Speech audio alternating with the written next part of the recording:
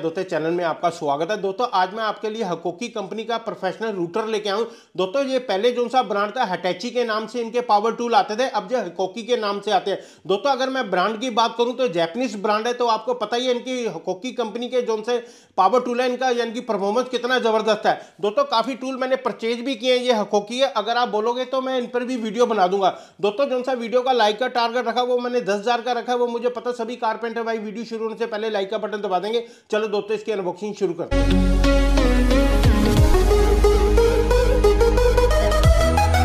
Unboxing करने से पहले मैं आपको इसका बॉक्स भी दिखा देता हूँ। दोस्तों बॉक्स के पहले मैं इसका आपको मॉडल नंबर भी दिखा देता हूँ। सामने स्क्रीन पर आपको नज़र आ रहा होगा M one two S A two ये दोस्तों, इसका मॉडल नंबर है।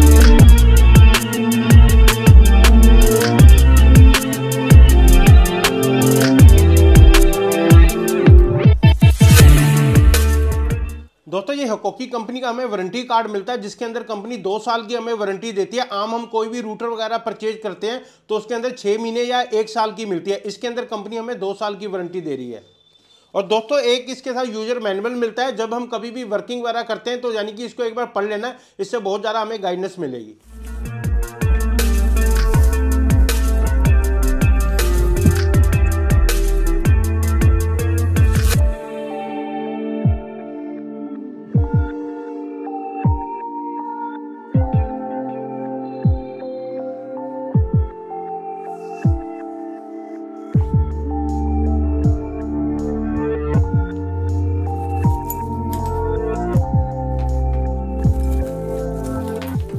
तो इसके साथ कुछ हमें एसेसरी मिलती है।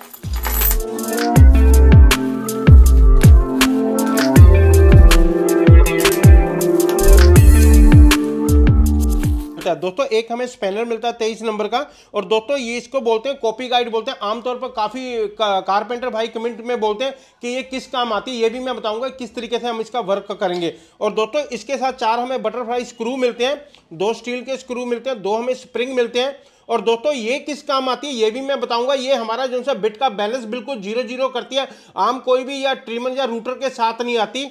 और दोस्तों, इसके साथ हमें कोलेट मिलती है, एक 12 एम mm की मिलती है, एक 8 एम mm की मिलती है। अगर आपने हैवी ड्यूटी काम करना तो आप 12 एम mm का इस्तेमाल करो। अगर ट्रिमर की तरह इस्तेमाल करना है तो आप 8 एम की इस्तेमाल कर सकते हो।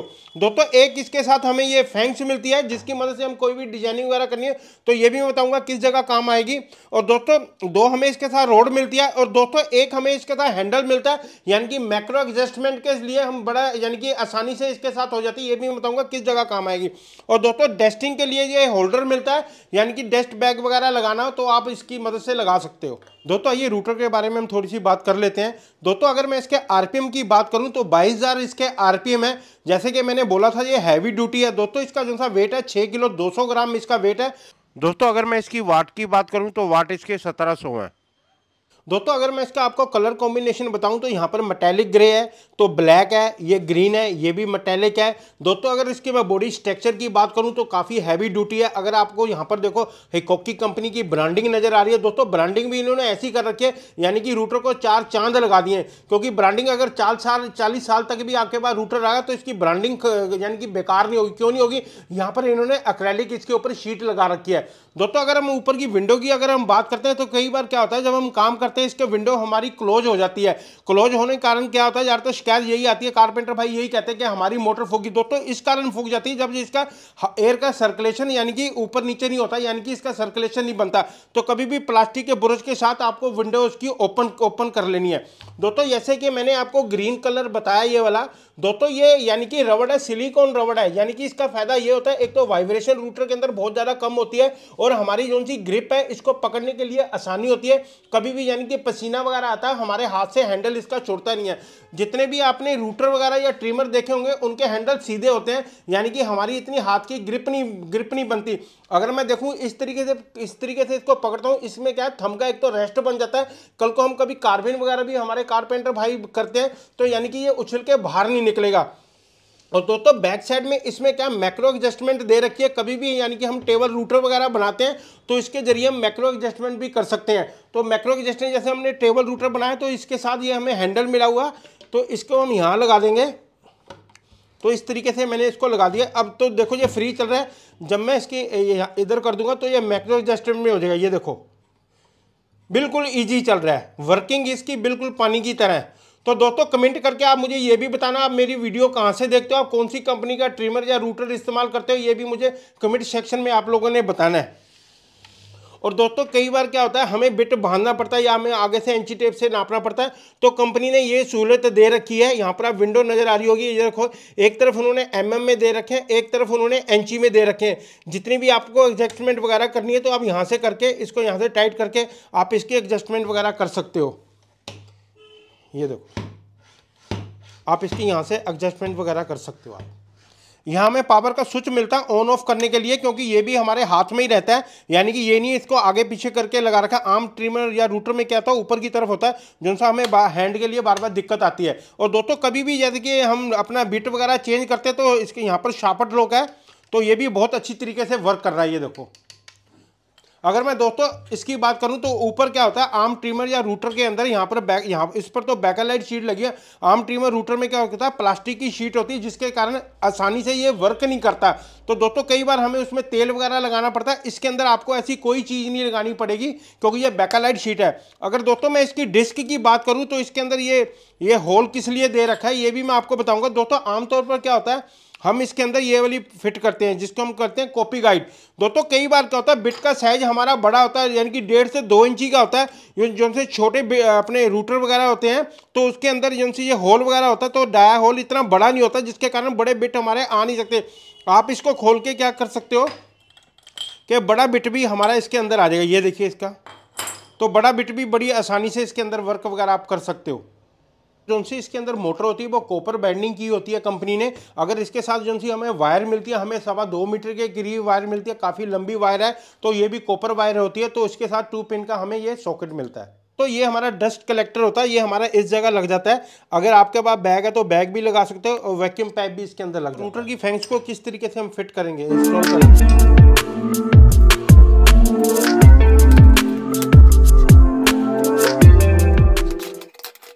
हमारी मैक्रो एडजस्टमेंट होगी, होती है। अगर इसको भी देखो, अगर प्लास्टिक की नोक के, नोब के ऊपर इन्होंने किस तरीके की लर्निंग बना रखी है, यानी कि इस तरीके से हम मैक्रो एडजस्टमेंट करने के बाद हम यहाँ से बटरफ्लाई को टाइट कर देंगे। और ये इस जगह ये आएगी,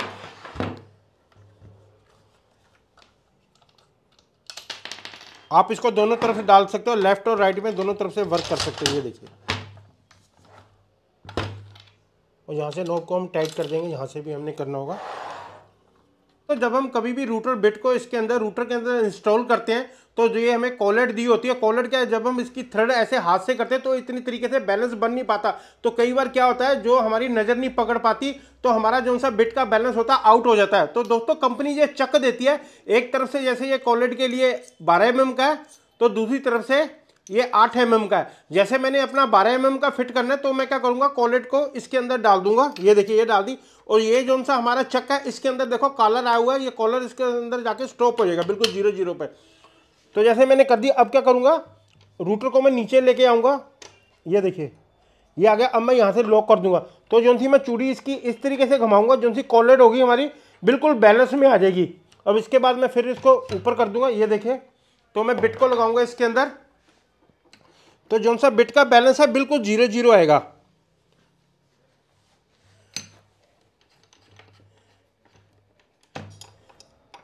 इससे क्या होगा, इसकी मदद से क्या होगा, जो सा मैंने ये आपको इस तरीके से करके दिखाया है, इसके साथ क्या होता है वाइब्रेशन बिल्कुल भी नहीं आएगी आपके, यानी कि अगर आप बिट चलाओगे तो बिल्कुल भी वाइब्रेशन नहीं आएगी। इसके अंदर क्या होगा जो चेक की मदद से जो सी वाइब्रेशन आती है, वो बिल्कुल हमारी ज़ीरो हो जाएगी। दोस्तों, जो मैं आज आपको डिज़ाइन बना के दिखाऊँगा, सबसे पहले क्या होता है, हमें उसकी मेज़रमेंट वगैरह करनी पड़ती है।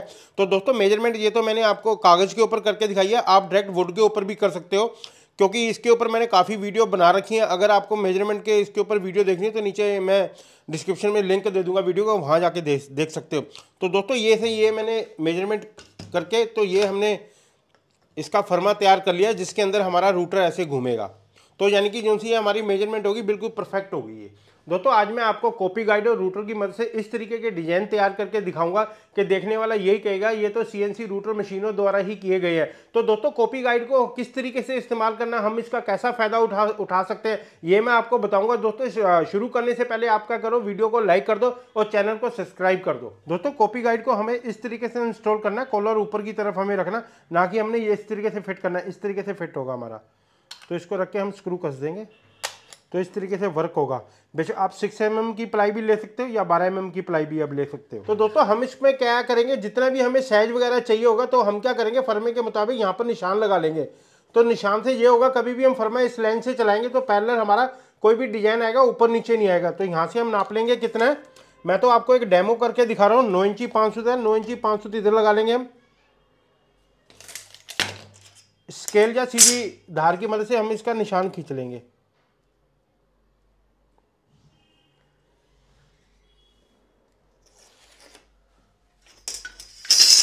तो जो सा फर्मा इधर से आपका राइट एंगल होना चाहिए, जितना आपने छोड़ना है, वो तो छोड़ के लगा लेना है।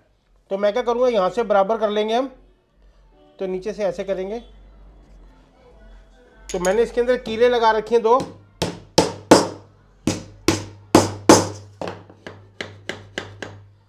और इसके अंदर हम अपना रूटर चला देंगे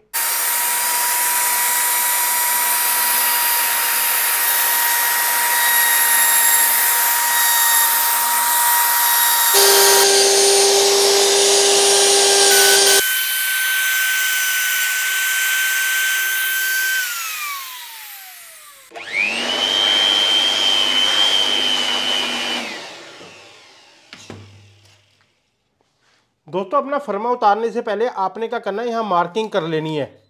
आपको पता लग जाएगा अगला निशान आपने किस पर लगाना है, ये देखिए। दोस्तों, ये देखो ब्लॉक कितना अच्छा बना ये। तो इसी तरीके से जिनसे मैंने बोला था निशान, ये निशान को नाप लेंगे कितना है तो उसी तरीके से हम निशान लगाएँगे। जो सा पैरलर जो सा मैंने निशान लगाया था, इसके ऊपर फर्मा रख के हम क्या करेंगे यहाँ से जितना था इतना निशान इसके अंदर रख लेंगे तो हम फर्मे को इस तरीके से फिट कर लेंगे। दोस्तों हमने एक किस्म का फर्मा बना लिया ये देखिए जितना डिस्टेंस है तो यहाँ से फिट करके हम इस, इसको इधर फिट कर देंगे इस तरीके से। और जो सा मैंने नीचे निशान लगाया था इसको हम इसके साथ बराबर रख लेंगे तो हमारा बिल्कुल फ़र्क नहीं आएगा। ये देखो इस तरीके से हम करेंगे। तो इस तरीके का हमने ये कैंडा तैयार कर रखा है क्योंकि बार बार निशान लगाने की ज़रूरत नहीं पड़ेगी।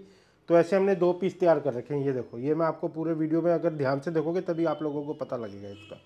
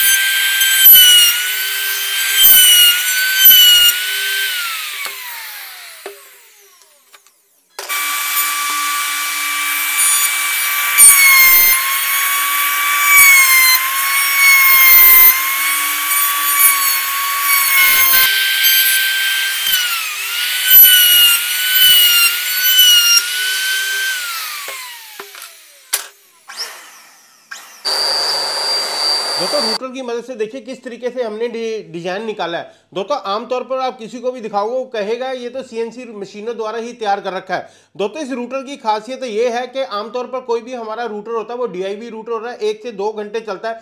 दोस्तों जैसे फर्नीचर की इंडस्ट्री वगैरह होगी तो वहाँ पर ये रूटर लगे हुए हैं, क्योंकि ये वर्किंग जो है, इनकी आठ से बारह बारह घंटे ये वर्क करते हैं। दोस्तों मैं आपको मैक्रो एडजस्टमेंट करके दिखाऊँगा। इस लीवर को क्या हमने क्या करना है? राइट अपना राइट हैंड की तरफ़ मूव कर लेना है तो यानी कि थर्ड में काम करना चालू कर देगा। तो हम क्या करेंगे? ऊपर से इस हैंडल को हम जैसे जैसे करेंगे तो आपको नीचे नज़र आ रहा होगा, ये देखिए।